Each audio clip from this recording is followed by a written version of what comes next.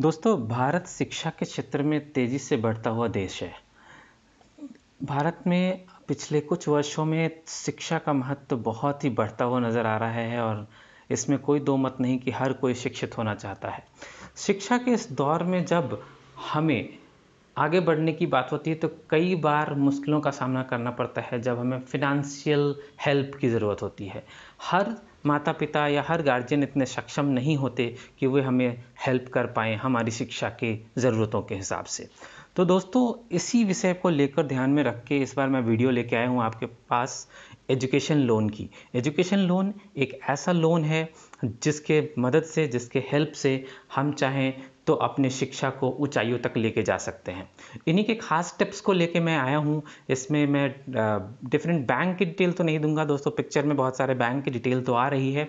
इस वीडियो में मैं आपको बताऊँगा कि आखिर एजुकेशन लोन कैसे लेते हैं।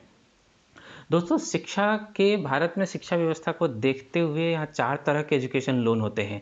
एक होता है अंडर ग्रेजुएट एजुकेशन लोन वैसे विद्यार्थी जो अपनी हायर सेकेंडरी की शिक्षा पूरा कर चुके हैं, यानी प्लस टू की शिक्षा पूरी कर चुके हैं और आगे की पढ़ाई ग्रेजुएशन के लिए करना चाहते हैं तो वो लोन ले सकते हैं। दूसरा लोन होता है ग्रेजुएट एजुकेशन लोन ग्रेजुएट छात्र या छात्रा या स्टूडेंट्स इसका फ़ायदा ले सकते हैं, वे अपनी उच्च शिक्षा के लिए एजुकेशन लोन ले सकते हैं। तीसरे प्रकार का लोन होता है career education loan career education loan एक ऐसा प्रकार का लोन है जिसमें विद्यार्थी वो विद्यार्थी ले सकते हैं या वो स्टूडेंट ले सकते हैं जो देश के किसी भी टेक्निकल स्कूल या संस्थानों में उनकी रुचि है और वहाँ पढ़ाई करना चाहते हैं. जैसे इंजीनियरिंग की पढ़ाई करना चाहते हैं या आप मेडिकल की पढ़ाई करना चाहते हैं. तो इन बड़े संस्थानों में पढ़ाई के लिए आपको एजुकेशन लोन मिल जाता है.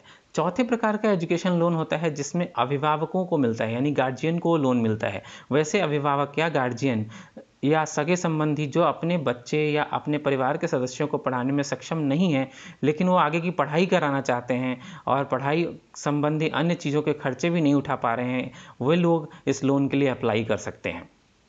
तो दोस्तों, इस लोन की एप्लीकेशन के लिए कई महत्वपूर्ण बातों का ध्यान रखना पड़ता है।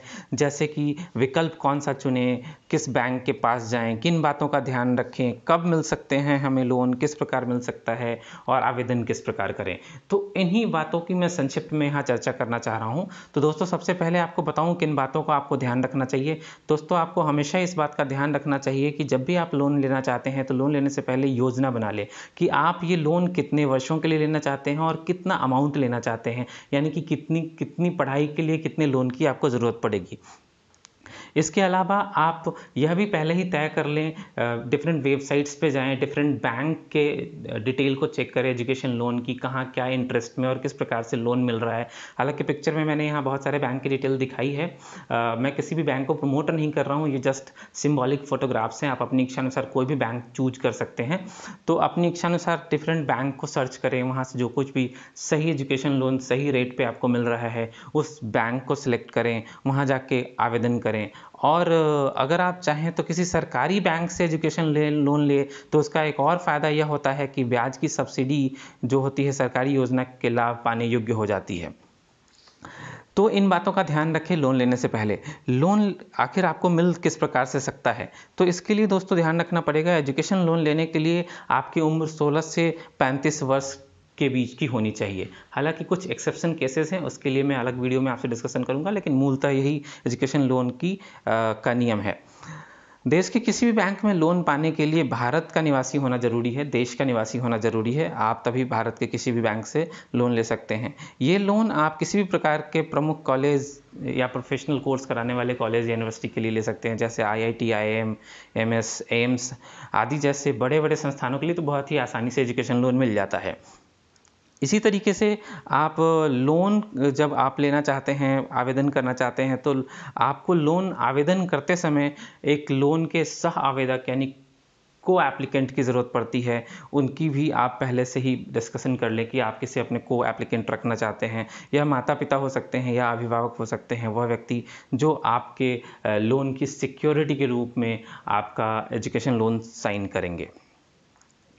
तो ये दोस्तों ध्यान रखने की बात है। इसके अलावा आवेदन कैसे करें? आवेदन करने का सबसे सही तरीका ये है कि सबसे पहले जैसे मैंने बताया डिफरेंट वेबसाइट पे पैसा बाज़ार डॉट कॉम पर भी अवेलेबल है और इसके अलावा डिफरेंट वेबसाइट पे गूगल का ज़माना है। आप गूगल कीजिए search engine different search engine में यूज़ कीजिए और अपनी पसंद के बैंक को सर्च कीजिए। बैंक को सर्च करने के बाद जिस किसी भी बैंक में आप आवेदन करना चाहते हैं, वहाँ आवेदन करने के लिए आप अपने फॉर्म ऑनलाइन भी अवेलेबल है। इसके अलावा बैंक विज़िट के थ्रू भी हो जाता है। फॉर्म सबमिट करें।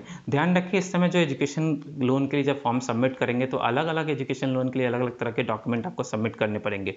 उच्च शिक्षा के लिए एजुकेशन लोन के लिए, आवेदन के लिए दसवीं और बारहवीं की मार्कशीट की ज़रूरत पड़ती है।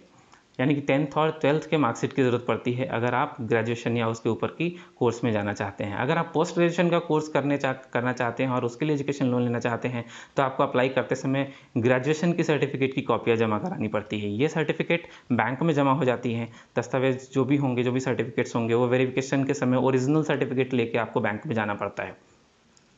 आप जिस किसी भी संस्थान में या यूनिवर्सिटी में या कॉलेज में एडमिशन लेना लेना चाहते हैं लेने की योजना बना रहे हैं, वहाँ का एडमिशन लेटर आपको सबमिट करना होता है। जी हाँ दोस्तों, यह अधिकृत होना चाहिए कि आप ऑलरेडी सिलेक्ट हो चुके हैं इस यूनिवर्सिटी कॉलेज में तो उसके अकॉर्डिंग वो डॉक्यूमेंट आपको सबमिट करने होते हैं कि हाँ आप इस यूनिवर्सिटी के लिए पर्टिकुलर यूनिवर्सिटी के लिए आप सिलेक्ट हो चुके हैं।